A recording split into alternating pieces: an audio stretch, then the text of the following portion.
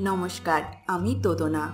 আপনাদের যখনই কিছু মন পছন্দ খাবার খেতে ইচ্ছা করবে, ইউটিউবে গিয়ে লিখুন বাঙালির রান্নাবান্না আর সাবস্ক্রাইব করুন আমার চ্যানেল এবং আমার সমস্ত রান্নার আপডেট সবার আগে পেতে বেল নোটিফিকেশানটা অবশ্যই অন করবেন। আজ আমি আলু দিয়ে চাউমিন বানিয়ে দেখাবো। এটা বানানো খুবই সহজ আর এটা খেতেও ভালো হয়। তাহলে দেখে নিন, আলু দিয়ে চাউমিন বানাতে কি কি লাগছে। নিয়েছি চাউমিন, একটা আলু, আমি একটু মোটা, লম্বা লম্বা করে কেটে ধুয়ে নিয়েছি। একটা পেঁয়াজ কুচি, দুটো ডিম, নুন পরিমাণ মতো, একটা কাঁচা লঙ্কা কুচি, গোলমরিচের গুঁড়ো সামান্য, লাগছে সাদা তেল, আর লাগছে ভাজা মশলা গুঁড়ো সামান্য। এতে আছে গোটা জিরা, গোটা ধনে আর গোটা শুকনো লঙ্কা। এই সব উপকরণ আমি শুকনো কড়াইতে ভেজে গুঁড়ো করে নিয়েছি। প্রথমে আমি আলু সেদ্ধ করবার জন্য একটা পাত্রে জল গরম বসিয়ে দিয়েছি। এর মধ্যে কুচানো আলু দিয়ে দেব। আর দেব পরিমাণ মতো নুন। এবার এটা হতে দেব। তবে খুব বেশি সেদ্ধ না করে অর্ধেক সেদ্ধ করব।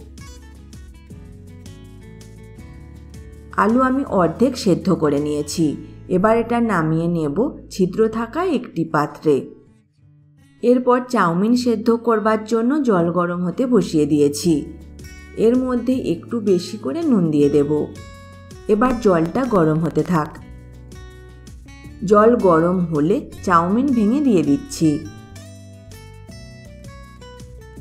এবার চাউমিনটা আমি ভালোভাবে সেদ্ধ করে নেব। চাউমিন সেদ্ধ হয়ে গেছে। এবার গ্যাসটা বন্ধ করে দিচ্ছি। এর মধ্যে একটু ঠান্ডা জল দিয়ে দেব। এতে চাউমিনটা চটচটে হবে না। এবার এটা নামিয়ে নেব ছিদ্র থাকা একটা পাত্রে। আলু দিয়ে চাউমিন বানানোর জন্য কড়াই গরম করে অল্প তেল দিচ্ছি। তেলের মধ্যে ডিম ফাটিয়ে দিয়ে দেব। দুটো ডিমই ফাটিয়ে দিয়ে দেব। ছড়িয়ে দেব সামান্য নুন। এবার ডিমের ঝুড়ো বানিয়ে নেব। তবে ডিম কিন্তু লালচে করে ভাজবার দরকার নেই।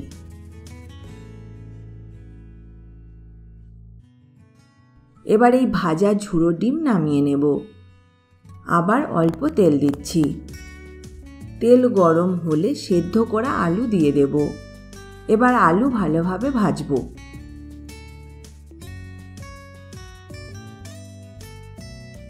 আলু আমি ভালোভাবে ভেজে নিয়েছি।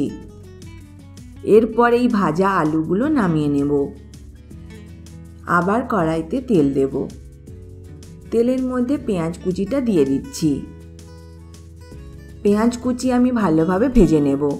তবে এর পেঁয়াজ কিন্তু খুব বেশি লালচে করে ভাজবার দরকার হয় না। পেঁয়াজ আমি ভেজে নিয়েছি। এবার কাঁচা লঙ্কা কুচিটা দিয়ে দেব। আর দেব সেদ্ধ করা চাউমিন। এবার চাউমিনটা তেলে বেশ নাড়াচাড়া করে নেব।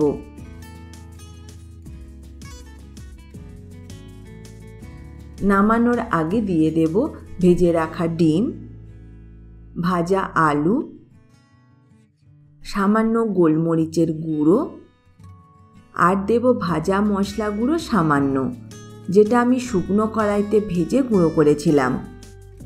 মিশিয়ে নিলেই তৈরি হয়ে গেল আলু দিয়ে চাউমিন। এটা কিন্তু গরম গরম পরিবেশন করলে ভালো হয়। এই রেসিপি যদি আপনাদের ভালো লাগে, অবশ্যই লাইক বা কমেন্টের মাধ্যমে জানাবেন পারলে শেয়ার করবেন। আরও এই রকম নতুন নতুন রেসিপি পেতে আমার চ্যানেলকে সাবস্ক্রাইব করতে ভুলবেন না। আজ তবে এই পর্যন্ত থাক, আবার দেখা হবে নতুন কোনো এক রেসিপি নিয়ে। ভালো থাকবেন, সুস্থ থাকবেন, ধন্যবাদ।